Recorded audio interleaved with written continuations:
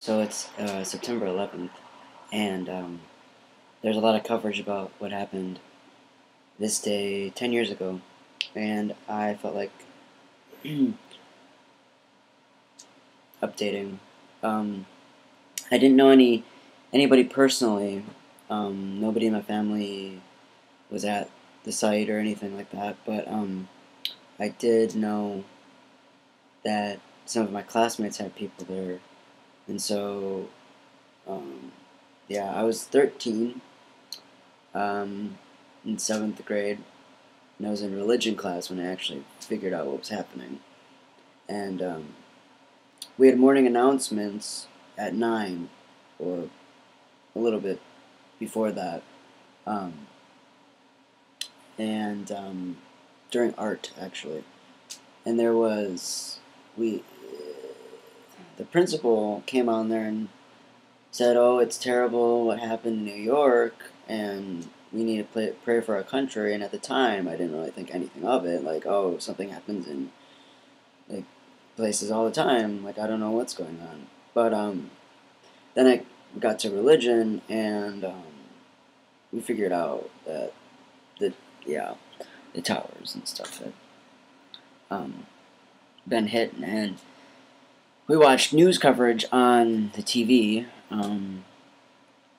because um, our religions person, religion studies teacher, um, let us do that. Um, and then we finished out the day, I believe. Um, I think maybe some people went home, but I think we finished out the day. And um, then when I got home, I watched CNN and Fox and whatever else news source I could on the TV to figure out what was going on. And I remember seeing footage of the towers collapsing, and this was like, you know, a while after they had happened because it was in the afternoon. But I was just like, wow. You know, like I was really speechless, like most of the country was at that point. Like, it didn't really hit me until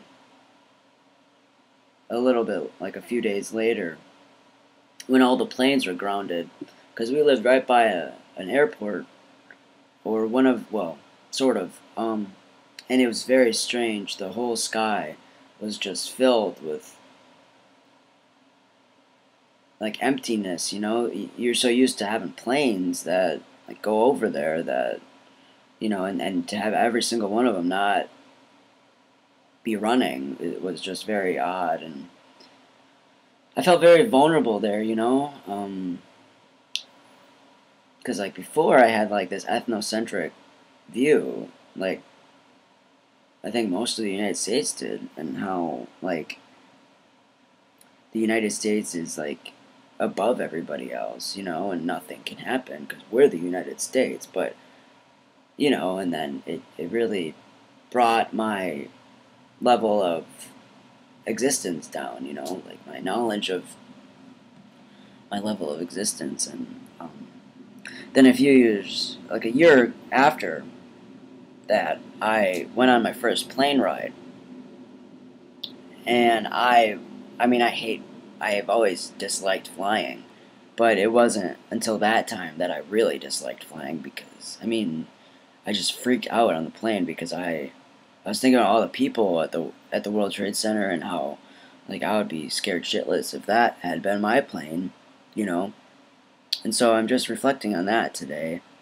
And I need to do homework, but I, I wanted to reflect on it because I haven't really done that. Um, and it's very strange to realize that it's 10 years ago and it seems so raw still, you know, like I remember it very vividly happening. Like I was, it was, it was at that point in my life where I could remember stuff like really well, you know, like and really know what was going on. So, yeah. So, I hope everybody else has a good day, and if you had anybody in the at the scene of the crime when that happened ten years ago, I hope you're okay and you're making it through this day okay. So, all right, take care.